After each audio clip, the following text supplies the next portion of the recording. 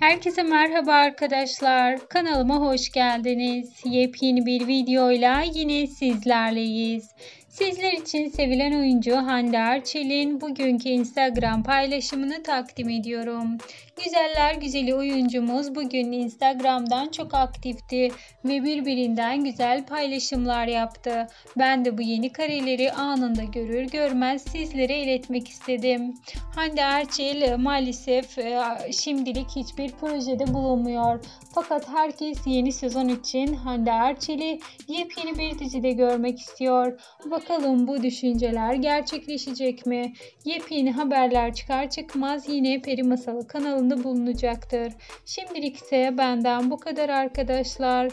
Bir sonraki videolarımızda görüşmek üzere. Hoşçakalın.